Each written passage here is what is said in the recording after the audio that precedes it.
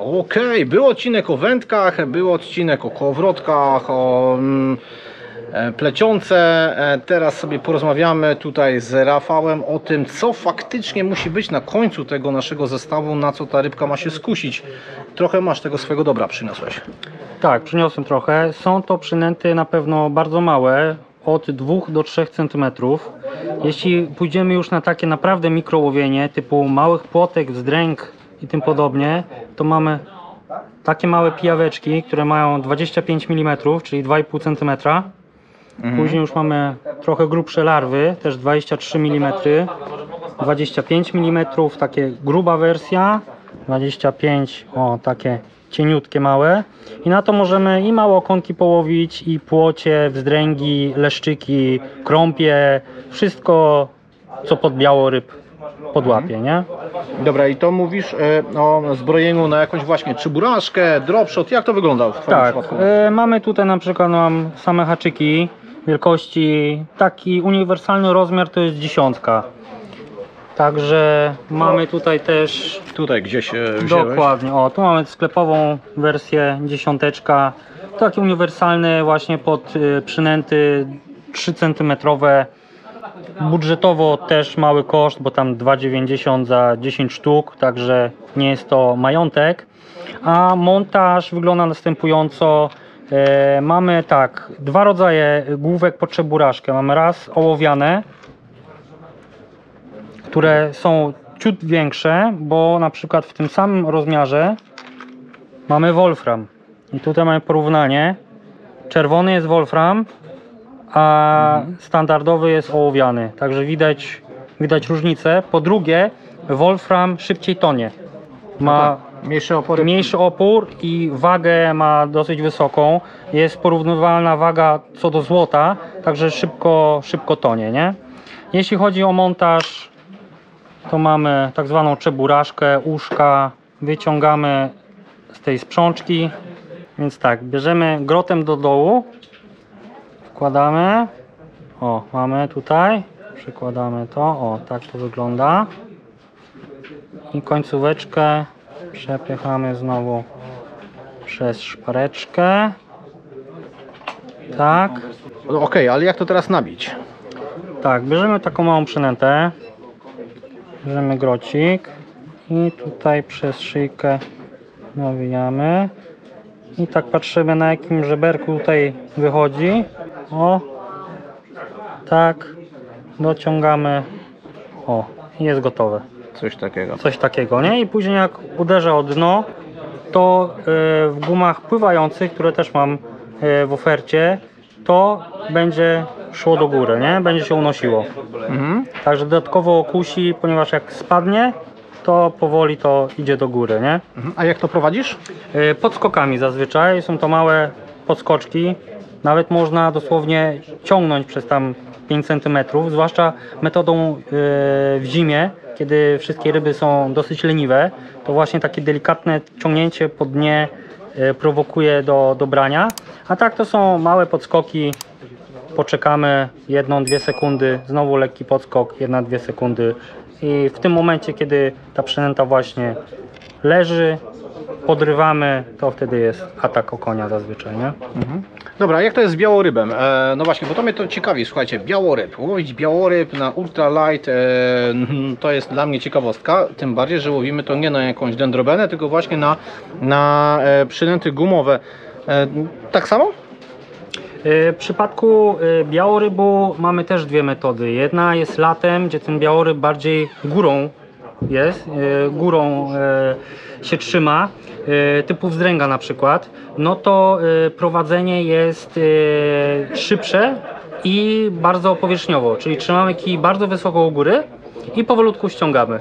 I delikatnie od czasu do czasu paluszkiem o blank stukamy, żeby ta przynęta lekki odskok zrobiła. A to zrobi raz w lewo, odskok raz w prawo, tak żeby było chwilę zaskoczenia i wtedy czekamy aż znowu chwilę opadnie, o te tam 50 cm i znowu powoli ściągamy, ściągamy i pukamy, pukamy, więc dręgi jak najbardziej pod to, to interesuje. nie? Dobra, ale tam jeszcze mocniej schodzimy z e, tego e, gram, e, z gramatury, czy, czy nie? Y, Gramaturę, jeśli chodzi o białoryb, im niższa, tym lepsza.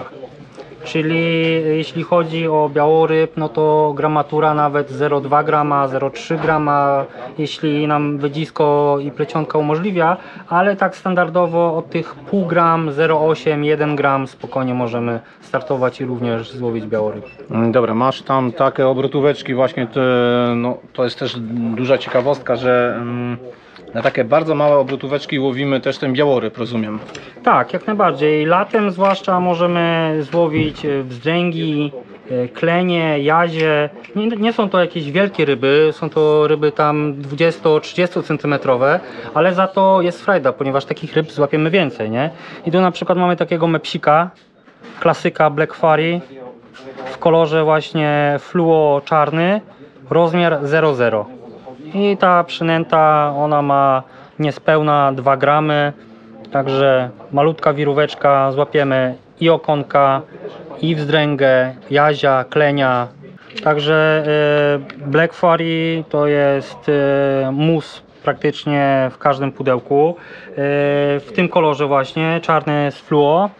Następnie też fajnie mieć długą paletkę, tak jak tutaj widzimy, czarny kolor, ponieważ to imituje jakieś tam robaczki, które, które gdzieś tam jakaś ważka czy jakaś inna, e, inna larwa sobie gdzieś tam przy powierzchni wychodzi, imituje. E, no i też e, złoto. Tu mamy też małą złotą.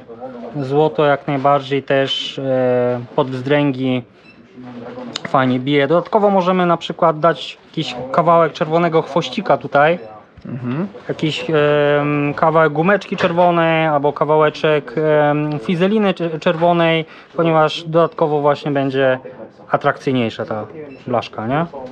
Jeśli chodzi o strągowanie lub też jeśli się trafia, e, tak jak u Was w Władysławowie, makrela bądź śledź, no to polecam malutkie wahadłóweczki.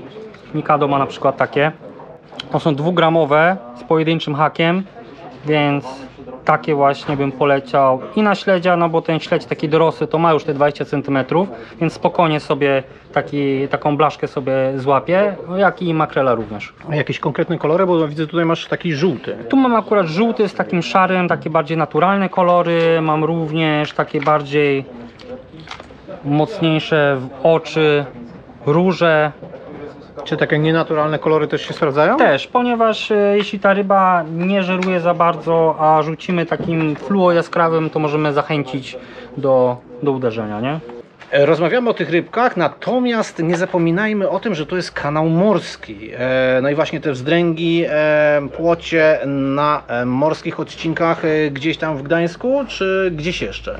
E, Ja bym obstawiał również te długie pale, które takie są, czy to w Rozewiu, czy tam też we Władysławowie, tam dalej. Mhm. Jeśli mamy możliwość tam dojścia do, do tego pasa wody, no to myślę, że ty, przy tych właśnie stoją jakieś jazie, stoi jakiś leszczyk, jakaś płoć morska, także tam bym też obławiał to z, z pozytywnym odbiorem, nie? Mhm. E, No właśnie, bo słuchajcie, mamy kanał morski i u nas często łowimy w porcie na przykład leszcze. Co ty byś miał na leszcza właśnie, takiego ze swojego arsenału? Na leszcze, no to weźmiemy tutaj pudełeczko.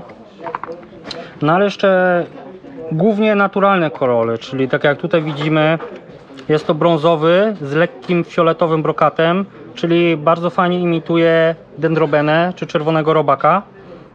Także kolory wszystkie możliwe brązy, numer jeden.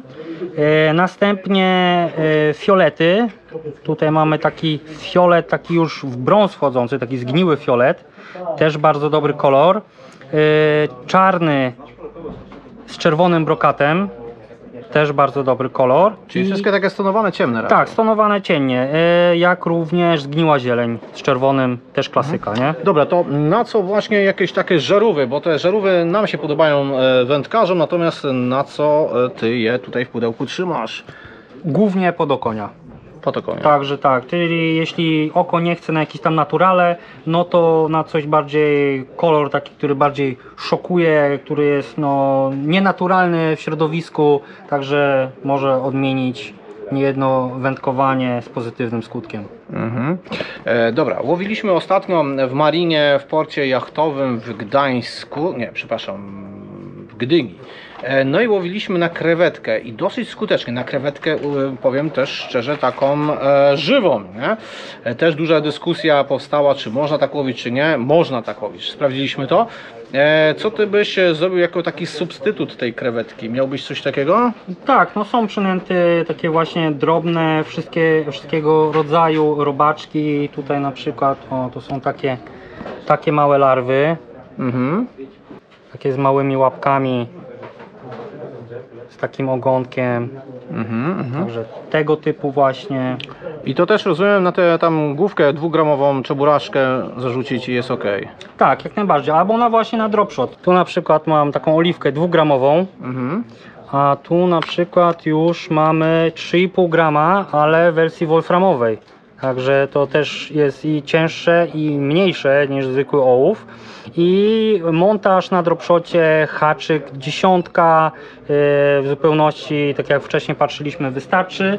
Rafał e, jest z Gdańska i zna te wszystkie, wiecie, tam motławy, ujścia, dojścia, jakieś tam inne kanały. No i właśnie Rafale, e, jakbyś miał powiedzieć, e, poradzić komuś, kto po prostu wybiera się na tamten odcinek, gdzie ten okoń najczęściej stoi? Przy dnie właśnie? To zależy. Jeśli teraz mamy taki okres wakacyjny, no to ten okoń bardziej już w tonie siedzi. Jeśli już mamy koniec miesiąca, gdzie ten morski już tak e, wjeżdża, no to musimy go raczej szukać e, powierzchniowo. E, Wieczorami patrzeć, gdzie są ukleje, bo często bije w tą ukleję. I wczesnym rankiem również szukać go tam, gdzie są jakieś łódki, gdzie jakiś statek stoi, tam wszystkie takie zakamarki bardzo, bardzo chętnie obławiam, ponieważ no, tam stoją naprawdę fajne sztuki.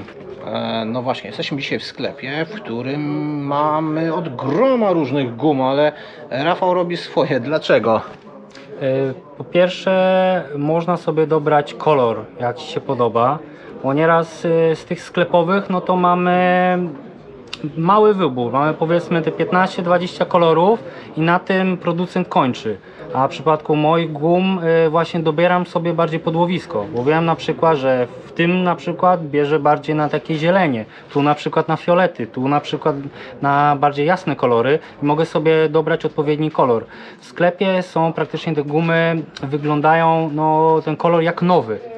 A w przypadku już niektórych nawet doświadczonych wędkarzy wiedzą, że na przykład taka stara guma, która w pudełku gdzieś tam leży, jest taka zabrudzona, trochę y, żółtawa, przynosi naj, najlepsze rezultaty, więc biorę takie właśnie kolory, próbuję mieszać takie kolory właśnie, żeby stworzyć, stworzyć tą przynętę taką, która, która naprawdę będzie kosiła ryby, nie? E, Mamy serię o ultralightach, e, morskich ultralightach, no i ja też zauważyłem, że chyba to spektrum tych przynęt ultralight e, jest jeszcze dosyć ograniczone, jeżeli chodzi o sklepy, co?